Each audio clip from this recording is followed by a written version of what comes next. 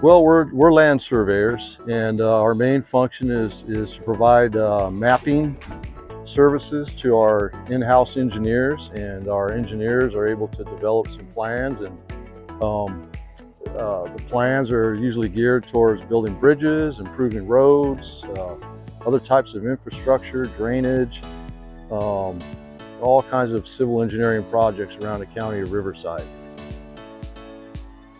Before we had this uh, GPS technology, going back to the total station, this is how uh, we measured angles and uh, elevations, except this one is of the newer, newer generation. Back in the day, we didn't have all these electronic gadgets and a keyboard and uh, it was basically just broken down like an old-fashioned transit that you, you, might, you might even see an old World War II or Vietnam era um, surveyors of the time. What I like most about my job is being outdoors and working with the people.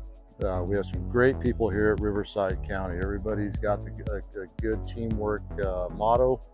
We all work together really well. We're, you know, we're just one big happy family, I think.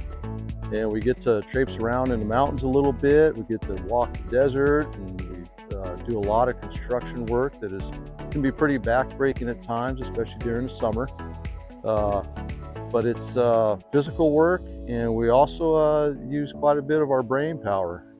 I've been with the county survey department since 2001 and uh, I've enjoyed uh, virtually the whole time. It, it's again, it's a great place to work.